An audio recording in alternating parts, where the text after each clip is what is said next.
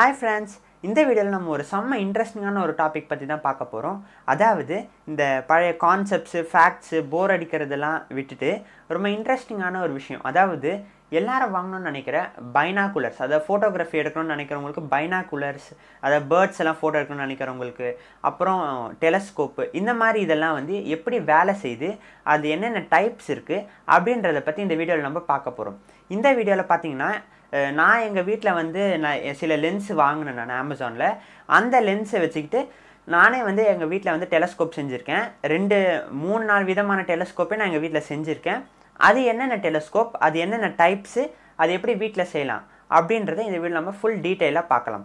அதனால் இந்த video skip பண்ணாத கடைசி வரைக்கும் பாருங்கள் அது மட்டும் இல்லாத இந்த டெலஸ்கோப்பில் வந்து ஒரு மெயினான விஷயம் இந்த டெலஸ்கோப்பாக இருந்தாலும் சரி பைனாகுலராக இருந்தாலும் சரி ஒரு மெயினான விஷயம் என்னென்னா அதாவது பெருசாக வர லைட்டை வந்து சுருக்கி சின்னதாக மாற்றணும் அதுதான் வந்து இந்த டெலஸ்கோப்புக்கும் பைனாகுலர்ஸ்க்கும் இருக்கிற ஒரு கான்செப்ட் அதாவது பெருசாக வர அந்த லைட்டை சுருக்கி சின்ன லைட்டாக காமிக்கணும். அப்படி காமிச்சிங்கன்னா உங்களுக்கு ஜூம் பண்ணுற மாதிரி இருக்கும் சரியா?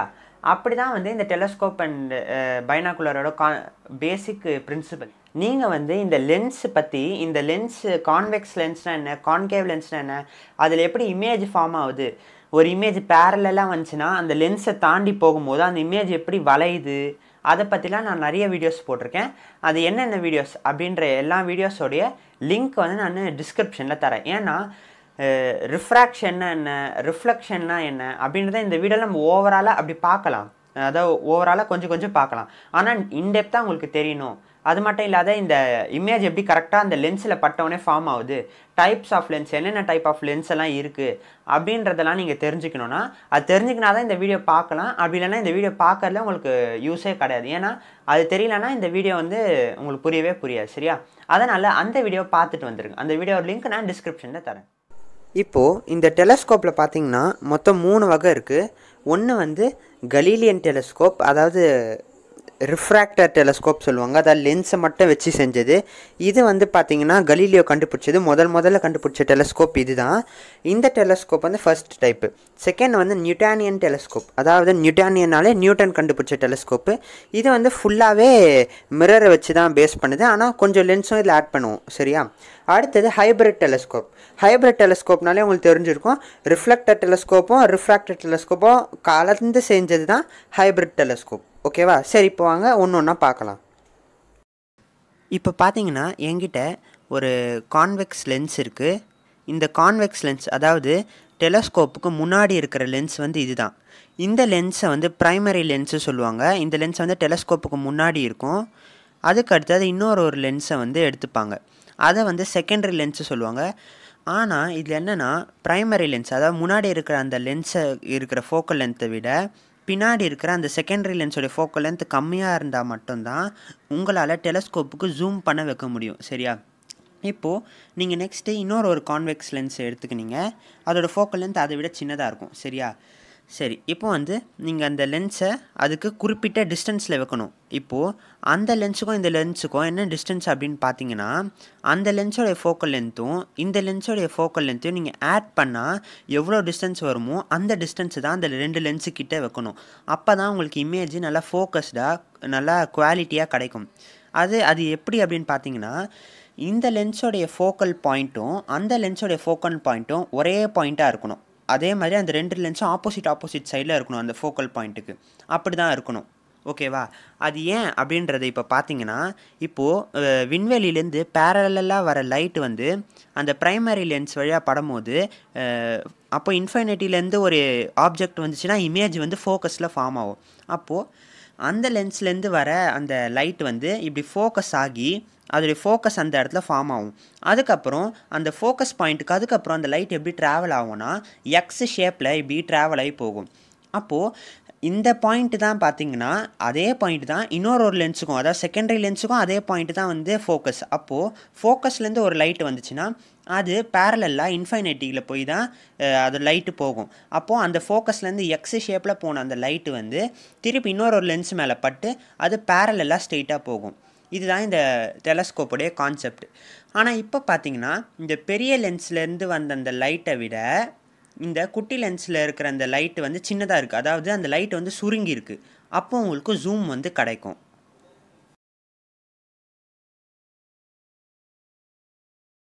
சரி இப்போது இந்த ரிஃப்ராக்டர் டெலஸ்கோப்பை வெறும் கான்வெக்ஸ் லென்ஸை வச்சு மட்டும்தான் உருவாக்க முடியுமா அப்படின்னு கேட்டிங்கன்னா அது கிடையாது. கான்கேவ் லென்ஸை வச்சு கூட நீங்கள் உருவாக்கலாம். ஆனால் ப்ரைமரி லென்ஸுன்றது எப்போவுமே கான்வெக்ஸ் லென்ஸாக மட்டும்தான் இருந்தாகணும். ஆனால் செகண்டரி லென்ஸை நீங்கள் உங்களுக்கு என்ன லென்ஸ் வேணாலும் மாற்றிக்கலாம் சரியா? சரி இப்போ வந்து நீங்கள் ஒரு கான்கேவ் லென்ஸை வந்து இப்படி வெக் வைக்கிறீங்க. அப்படி வைக்கும் போது என்ன நடக்கும்னா இப்போ இன்ஃபைனிட்டிலேருந்து அதாவது யூனிவர்ஸ்லேருந்து வர லைட்டெல்லாம் பேரலாக தானே இருக்கும். அப்போது அந்த மாதிரி பேரலாக வர லைட் வந்து என்ன ஆகும்னா இந்த கான்வெக்ஸ் லென்ஸால் அது வந்து கன்வெர்ஜ் ஆகும். அப்படி கன்வெர்ஜ் ஆகி என்ன நடக்கும்னா அந்த கன்வெர்ஜ் ஆகி இந்த கான்கேவ் லென்ஸில் வந்து படுதில்ல அந்த அந்த லைட்டோடைய அந்த பாத்தை வந்து நீங்கள் இன்னும் எக்ஸ்டெண்ட் பண்ணிங்கன்னா அந்த கான்கேவ் லென்ஸோடைய ஃபோக்கல் லென்த் அந்த ஃபோக்கல் லென்த் அந்த இடத்துல அந்த சைடு ஆப்போசிட் சைடில் வந்து படும். அப்போது கரெக்டாக அதோடய ஃபோக்கல் லென்த் அந்த இடத்துல அப்படி வரும். அப்போது அது என்ன செய்யும்னா இப்படி கண் டைவர்ஜிலேருந்து கன்வர்ஜ் ஆக வர அந்த லைட்டை பேரலெல்லாம் மாற்றிடும் சரியா? அதுதான் இந்த லென்ஸோடைய ப்ராப்பர்ட்டி அப்படின்னு இமேஜ் ஃபார்மேஷன் அந்த வீடியோலேயே நீங்கள் பார்த்துருப்பீங்க. ஓகே இப்போவும் பார்த்தீங்கன்னா அந்த பெரிய லென்ஸ் கிட்ட இருக்க அந்த லைட்டை விட அந்த லைட்டு சுருக்கி இருக்குது அப்போ உங்களுக்கு ஜூம் ஆகிறது தான் தெரியும். இப்போ நீங்கள் பார்த்துட்டு இருக்கிற அந்த ஃபுட்டேஜ் வந்து பார்த்தீங்கன்னா நான் என்கிட்ட இருக்கிற அந்த சின்ன டெலஸ்கோப்பில் எடுத்த ஒரு எக்ஸாம்பிள் தான். இது வந்து கொஞ்சம் கம்மியாக தான் ஜூம் பண்ணுது. இருந்தாலும் உங்களுக்கு ஓரளவுக்கு ஜூமாக தான் தெரியுது. இப்போ நீங்கள் பார்த்தீங்கன்னா இந்த டெலஸ்கோப் வந்து நான் சின்னதாக யூஸ் பண்ணியிருக்கேன். இல்லை ஏசியோடைய அந்த நம்பரை வந்து நான் உங்களுக்கு காமிக்கிறேன் பாருங்கள் இப்போ இதில் நீங்கள் சைட்லலாம் பார்த்தீங்கன்னா உங்களுக்கு கலர் கலராக தெரியுதா? இந்த ரெயின்போ கலர்லாம் அந்த சைட்லலாம் அந்த ஜன்னல் அதோடைய கலர்லலாம் தெரியுதுல. அதை வந்து குரோமேட்டிக் அப்ரியேஷன் அப்படின்னு சொல்லுவாங்க. அது ஏன் அப்படின்னு நீங்கள் பார்த்தீங்கன்னா இந்த டெலஸ்கோப்பில் இருக்கிற லென்ஸ்லலாம் பார்த்தீங்கன்னா உங்களுக்கு ரிஃப்ராக்ஷன் அப்படின்ற ஒன்று நடக்கும். அதாவது லைட் போகிறதோ அது டேரக்ஷனை வந்து மாற்றும் அது பேர் ரிஃப்ராக்ஷன் சொல்லுவாங்க. ஆனால் இந்த ரிஃப்ராக்ஷன் மட்டும் நடக்காத கூடவே இன்னொரு ஒரு ஃபெனோமெனனும் நடக்கும். அதாவது டிஸ்பர்ஷன் அப்படின்னு சொல்லுவாங்க. அதாவது ஒயிட் லைட்டை ஏழு கலராக பிரிக்கிறது அப்படின்னு சொல்லுவாங்க. ஆமாம் நீங்கள் ப்ரிசமில் பார்த்துருப்பீங்களே அதே தான் அந்த மாதிரி கொஞ்சோண்டு இந்த லென்ஸ்லேயும் வந்து நடக்கும் சரியா? அப்போ வந்து பார்த்தீங்கன்னா இந்த நிலாவோட ஓரம் இல்லை இந்த ஜூபிட்டரோடைய ஓரத்துலலாம் பார்த்தீங்கன்னா அந்த ஃபோட்டோவோட ஓரத்தில் இந்த மாதிரி உங்களுக்கு கலர் கலராக தெரியும். அது வந்து இந்த ஜூபிட்டர் நிலாலேருந்து வர அந்த ஒயிட் லைட் வந்து அந்த லென்ஸு வந்து லைட்டாக டிஸ்பர்ஸ் பண்ணிடுது. அதாவது ஏழு கலராக மாற்றிடுது அதனால் உங்களுக்கு உண்மையான இமேஜ் கிடைக்காத ஒரு மாதிரி குவாலிட்டி கம்மியாக இருக்கிற இமேஜ் கிடைக்கும். அதனால் இந்த லென்ஸில் வந்து உங்களுக்கு வந்து அது டிஸ்அட்வான்டேஜ் அப்படின்னு சொல்லலாம். ஆனால் இந்த மாதிரி குரோமேட்டிக் அப்ரியேஷனை வந்து குறைக்கிறதுக்கு நிறைய லென்சஸ்லாம் ஆட் பண்ணிங்கன்னா அதை வந்து நீங்கள் குரோமேட்டிக் அப்ரியேஷன் நீங்கள் குறைக்கலாம். ஆனால் அது ரொம்ப காஸ்ட்லியானது அதனால தான் வந்து நிறைய பேர் இந்த இந்த டைப் ஆஃப் டெலஸ்கோப்பை யூஸ் பண்ணுறது இல்லை இப்போது நீங்கள் அடுத்த டைப் ஆஃப் டெலஸ்கோப்பான நியூட்டானியன் டெலஸ்கோப் அதை வந்து நீங்கள் யூஸ் பண்ணி பார்த்தீங்கன்னா இதில் குரோமேட்டிக் அப்ரேஷன் அப்படின்னு ஒன்று வராது. ஏன்னா இதில் லென்ஸ் அப்படின்ற ஒன்று கம்மியாக தான் யூஸ் பண்ணியிருப்பாங்க இதில் மேக்ஸிமம் பார்த்தீங்கன்னா மிரர் தான் இருக்கும். சரி. இப்போ இந்த நியூட்டானியன் டெலஸ்கோப்பில் பார்த்தீங்கன்னா இதில் இந்த நியூட்டானியன் டெலஸ்கோப்பில் வந்து உங்களுக்கு வந்து சைடு பின்னாடி வந்து ஒரு மிரர் கொடுத்துருப்பாங்க. இது வந்து பார்க்க பிளேன் மிரர் மாதிரி தெரிஞ்சாலும் இது பிளேன் மிரர் கிடையாது. இது வந்து பார்த்திங்கன்னா லைட்டாக வளைஞ்சிருக்கும். அதாவது இது வந்து ஒரு கான்கேவ் மிரர். அதாவது வர லைட்டை இப்படி கன்வர்ஜ் பண்ணக்கூடிய கன்வர்ஜிங் மிரர் அப்படின்னு சொல்லுவாங்க சரியா? அதுக்கப்புறம் இதோடைய ஃப்ரண்ட் சைடு அப்படின்னு நீங்கள் பார்த்தீங்கன்னா உங்களுக்கு ஒரு பிளேன் மிரரை வந்து ஃபார்ட்டி ஃபைவ் டிகிரி ஆங்கிளில் சாட்சி வச்சுருப்பாங்க. அது அந்த மிரரை நிற்க வைக்கிறதுக்கு ப்ளஸ் மாதிரி ஒரு ஸ்டாண்டை வந்து வச்சுருப்பாங்க சரியா?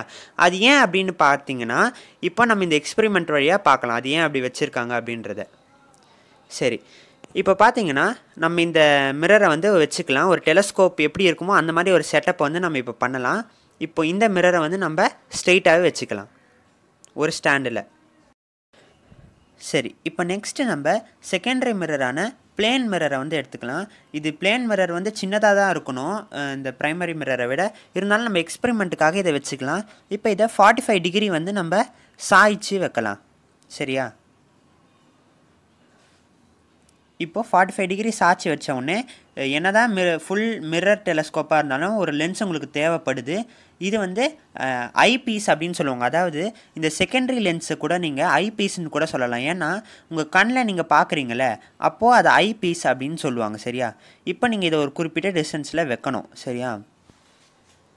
இப்போது இந்த டெலஸ்கோப் எப்படி ஒர்க் ஆகும்னா ஸ்பேஸ்லேருந்து வர பேரலல் லைட் வந்து இந்த கன்வர்ஜிங் மிரரில் பட்ட உடனே அந்த லைட் வந்து அப்படியே கன்வர்ஜ் ஆகி இப்படி ஸ்ட்ரெயிட்டாக போயின்னு இருக்கும் அப்போ பார்த்தீங்கன்னா இந்த ஃபார்ட்டி ஃபைவ் டிகிரி ஆங்கிள் இருக்க இந்த பிளேன் மிரரில் அந்த லைட் பட்ட உடனே அது ஃபுல்லாக கன்வர்ஜ் ஆகிறதுக்குள்ளேயே ரிஃப்ளெக்ட் ஆகி மேலே போய் அது கன்வர்ஜ் ஆகும் சரியா? அப்போ மேலே போய் அது கன்வர்ஜ் ஆகிட்டதுக்கப்புறம் அது எக்ஸ் ஷேப்பில் போகும் சரியா? அப்படி ஃபுல்லாக கன்வர்ஜ் ஆகி ஒரு பாயிண்டில் அந்த லைட் வந்ததுக்கப்புறம் அது எக்ஸ் ஷேப்பில் போயிட்டு அதுக்கப்புறம் அந்த மேலே இருக்கிற அந்த லென்ஸில் அந்த எக்ஸ் ஷேப்பில் போகிற அந்த லைட்டு பட்டு அப்புறம் அந்த லைட் வந்து பேரலெல்லாம் போகும். இப்படி தான் இந்த டெலஸ்கோப் வந்து ஜூம் பண்ணி உங்களுக்கு தருது. இப்போ நம்ம இந்த ஹைப்ரிட் டெலஸ்கோப்னால் என்ன அது எப்படி ஒர்க் ஆகுது அப்படின்றத பார்க்கலாம்.